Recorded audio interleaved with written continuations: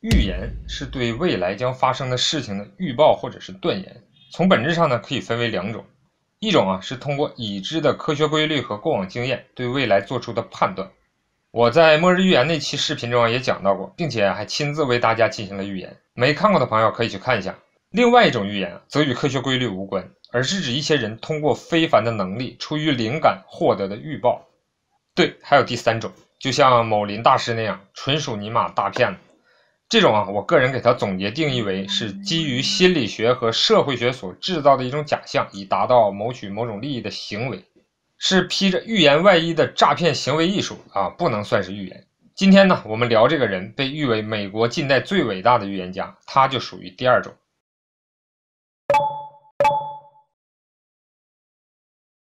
一九四四年十一月，第二次世界大战即将结束，时任美国总统罗斯福邀请珍妮·迪克逊来到了白宫，想让他预测一下二战结束后的局势，顺便啊，罗斯福想让他预言一下自己的病情，看看还能支撑多久。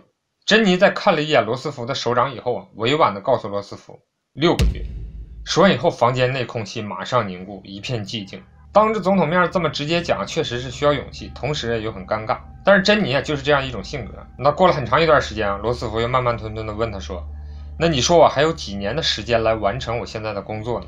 那珍妮虽然不情愿，但是温和地更正说：“不是以年来计算的，总统先生，实际上是不超过六个月。”不用说，再次强调使得场面更加的尴尬了。不过罗斯福作为总统，情商还是很高的，就顺势避开了这个话题。他就问珍妮：“美国可不可能和苏联结成盟友？”珍妮摇摇头说：“他看到的影像恰恰相反，说美国与苏联再次结盟的时候是在很久以后了，目的呢是联合起来制约强大的中国。”那罗斯福理所当然的感到非常的吃惊，因为他当时啊觉得和中国之间不会有任何问题。而且中国在当时的实力对于美国来讲呢不足为患。这时啊，珍妮聚精会神的看着水晶球中正在形成的画面啊，接着说：“说我看见中国的政权啊将会由共产党来领导，而现在的政权将会去往一片树叶形状的小岛上。其实啊，就是指当时的国民党退去台湾。而后果然如珍妮所说，美苏不但没有结盟。一九四六年三月五日，英国时任首相温斯顿·丘吉尔在美国富尔顿发表了铁幕演说，正式拉开了冷战的序幕。”一九四七年三月十二日，美国杜鲁门主义上台，冷战正式开始。一九五五年，华沙条约组织成立，标志着两极格局已经形成。那不仅如此啊，罗斯福最终在一九四五年的四月十二日与世长辞。那距离珍妮进入白宫为其预测呢，刚好五个多月。珍妮·迪克逊啊，出生于美国的威斯康星州。小的时候呢，珍妮总是会说一些让父母摸不着头脑的话，比如啊，有一天他和爸爸妈妈说：“我想玩一下那个镶着黑边的信。”当时啊，他的父母平克特夫妇啊，非常的疑惑，说：“咱家没有这样的一封信啊。”但是十天后，珍妮的爷爷去世了，一封呢从德国寄来的黑边信带来了这个噩耗。就类似这样的事情啊，经常发生。于是呢，父母就觉得这孩子是不是有问题，就会比较担心啊。这种情况呢，上医院一定是不明智的选择，医生会觉得全家都有神经病。于是，他们带着珍妮找到了一位善于占卜和预言的吉普赛女郎。这个吉普赛女郎啊，看到珍妮的手掌时，突然长呼了一口气，说：“说我这辈子从来没有见过这样的手掌纹路。”然后指着珍妮的左手，对她的母亲说：“这是一颗很大的卫星，从这颗星啊向外伸出的双头纹路，说明了它具有预知未来的天赋。”那么女郎啊，随后还给珍妮了一个水晶球。但是当珍妮拿着水晶球以后呢，并没有感到欢喜，而是尖叫着把球扔开。因为他说在球里看到这个吉普赛女郎把手伸向了一口奇怪的烧锅，而没过多久，这个吉普赛女郎在做饭的时候不慎啊，将一锅开水打翻，两只手严重烫伤。珍妮啊，一共有五个兄弟姐妹。小的时候有一天在玩耍的时候，突然就对哥哥厄尼说：“说将来有一天你会成为全美知名的运动员。”那当时他的兄长厄尼平克特啊是有自己的梦想，他的梦想呢是立志成为一名知识渊博的历史学家。而对于小屁孩的古怪预言啊，根本就没有当回事儿。然而十年过去以后，他却成为了全美知名的橄榄球运动员。而这个厄尼·平克特的大名呢，也被刻进了位于纽约的历史名人纪念堂。珍妮声名大噪以后啊，就成了白宫和政界领袖的座上客。虽然身为一名女性，对政治和世界的局势完全不懂，但是呢，她就可以通过某种力量预言世界范围内的很多局势性的问题。几次的总统大选也都准确的预测成功。当然，有人会说，总统选举嘛，大体上都已经能看出端倪了，谁能获胜，这种猜中的几率还是很大的。那最经典的呢，就是1948年1月，珍妮啊预言了哈里·杜鲁门将再次当选为总统。而在当时啊，可以说连杜鲁门自己都不敢相信自己能够连任的，因为他所领导的民主党已经严重的分裂了。在南方的造反分子们为了对抗总统、保护民权，已经脱离了民主党，并且成立了新的政党，叫做周全党。那不仅如此啊，还有一个分裂出去党叫进步党。那这对民主党的大选的冲击可以说是非常的大。所以当珍妮预测老杜连任的时候，大家认为珍妮已经凉凉了，不灵了。皇上的一些上流的太太们呢，甚至已经开始将珍妮从自己的朋友圈里拉黑了。更有甚者，还要求珍妮改变这个预言。结果很显然。本就声名大噪的珍妮再度封神。一九四五年，珍妮应邀出席了一场白宫的宴会。这次宴会呢，是为了欢迎来访的英国首相丘吉尔所举行的。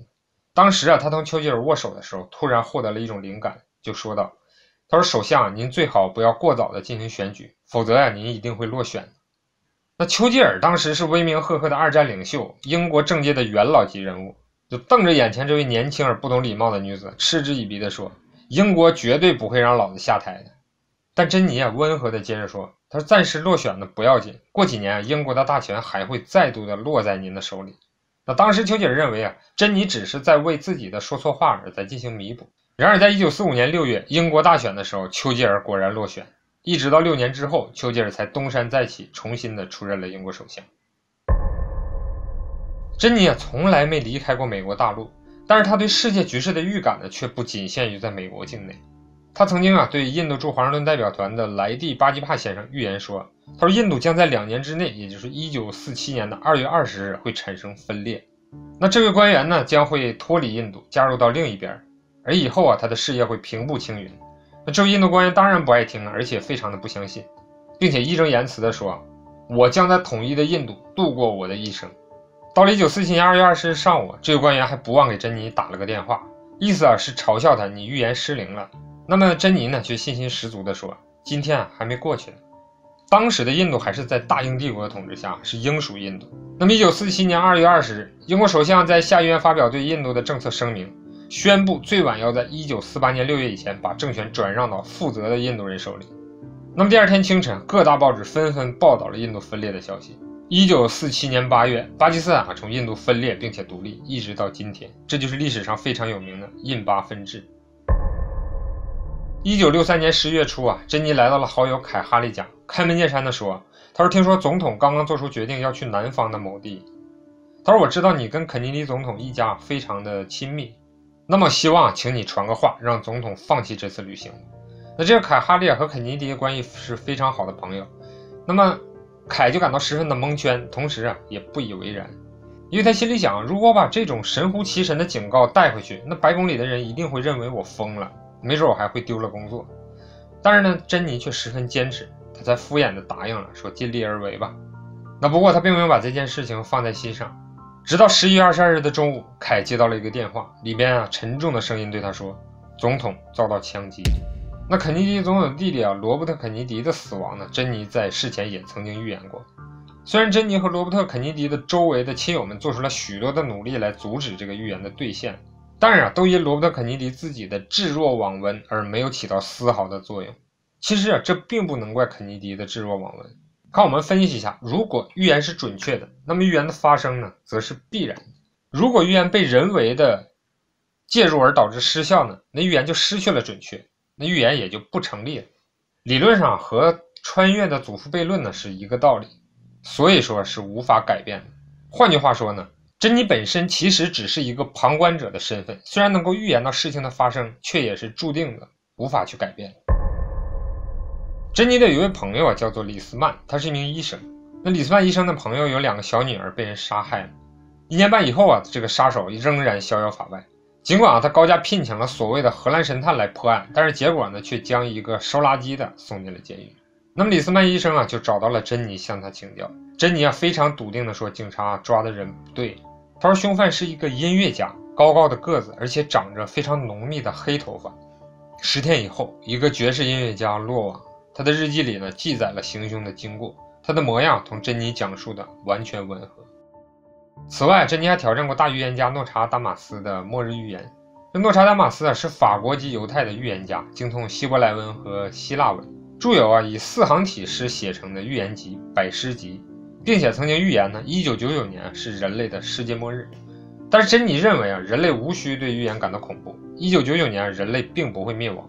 除此之外，美国的黑人领袖马丁路德金之死，印度国父甘地的去世，也被珍妮成功的预言到了。他甚至预言到了中国的文革、唐山大地震等等。有很多人认为啊，这个珍妮就是一个骗子，但是我个人认为啊，这种可能性并不大。首先啊，珍妮的一生中的预言有很多，很大一部分呢是关于政治方面的，甚至是关于总统的生死和世界上很多名人的生死。什么意思啊？就是说他并不是主观上想要去预测某总统怎样怎样，什么时候会死。而是某种力量让他对这些事情的发生呢有所感知，同时呢，很显然这种预言是绝对费力不讨好的，一旦失准，那不就等于诅咒人家死亡一样？那一定会被人们极度的反感。所以啊，即使要诈骗，也没有必要冒这么大的风险。这就不如啊，我又要提到某林大师，人家专挑有钱的明星、企业家等下手，那稳准狠，简单粗暴，够直接，那才是一个诈骗神棍的正确打开方式。而珍妮呢，如果是被包装行骗的话，那则需要大量的世界名人、美国总统，甚至各国政要，在几十年内同时为他站台。那这个硬件啊，太过强大了，意义何在呢？难道仅仅像某些网友说的，只是为了制造一个中国威胁论吗？就如此的大费周章，却没有任何实质性的意义，可能性几乎是零。所以我认为，珍妮·迪克逊有很大可能的确是有预知通灵的能力的。而正因为很大部分的预言都是不好的结果和现象，因此从上个世纪七十年代以后啊，珍妮选择淡出了公众的视线。也就是说，在珍妮生命中的最后二十年，她几乎没有做过什么预言了，就像平常的美国老太太一样，抱着孙子享受天伦之乐。那其实啊，他并不是没有预言的能力了，因为那并不是他自己能够控制得了的，只是啊，不再向外界宣布了而已。一九九七年一月二十五日，珍妮·迪克逊因心血管疾病在华盛顿西部利纪念医院离开了人世，享年九十三岁，结束了他极富传奇色彩的一生。那临终前啊，珍妮留下了一句遗言，说：“美国将会衰败，人类的希望在东方，中国将替代美国成为世界的领导者。”而且他还预言，有一位东方的紫薇圣人会于一九六二年出生。我那就好信儿，简单看了一下一九六二年出生的名人啊，有张镐哲、关礼杰、辛晓琪、杜德伟、马景涛、火风、蔡康永、吴若甫、黄家驹、杨紫琼、周星驰、范伟、史玉柱、李永波、关之琳、王杰、莫少聪、吴刚，以及我喜欢的吴宗宪宪哥。还有和我同一天生日的梁朝伟，当然还有一个最最重量级的、最最重量级，我们敬爱的彭妈妈。那么大家觉得会是哪一位呢？欢迎留言讨论。